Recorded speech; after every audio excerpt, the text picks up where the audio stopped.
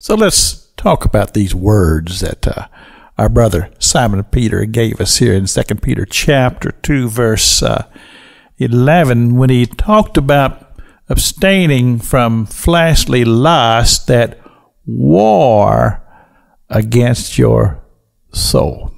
And uh, when you use the word war, well, you're talking about battle. You're talking about that which is ongoing.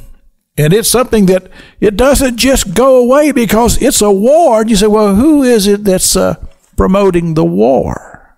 Well, we know that is the deceiver of the brethren. The scriptures refers to him. Oh, Lucifer himself, he is warring against the soul. I think about the book of Daniel where it talks about how that the enemy comes to wear out the saints.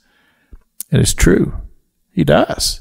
He comes to wear out the saints and he will find the most vulnerable areas in each one of our lives and he'll just come and he'll just come at you and he'll just come at you and he'll just come at you because he realized that you're vulnerable in those areas.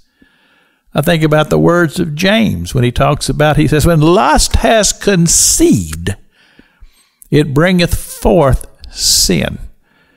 So that tells me that when it comes to the issue of sin, there is a choice.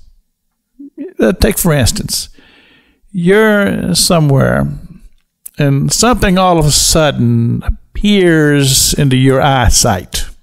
You didn't plan it, you didn't organize it, you weren't thinking about having this show up in your eyesight, but it's there. Now you have a choice. Do you continue to allow your, your eyes to focus on that, or do you turn away?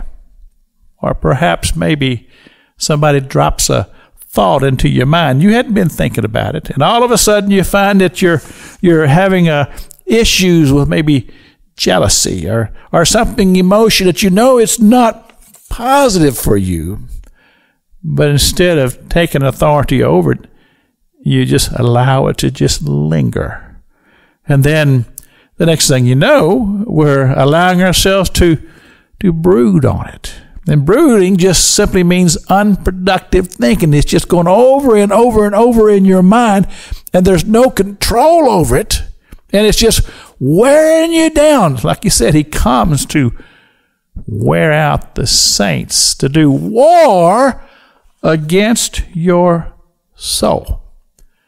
So he said, Well, Pastor King, what do we do about it? And this is where our maturity comes in.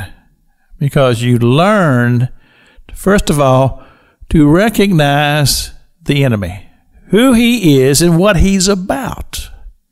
Secondly, you have to establish yourself as a part of God's kingdom. Where are you in your faith? Where are you as far as your belief in God?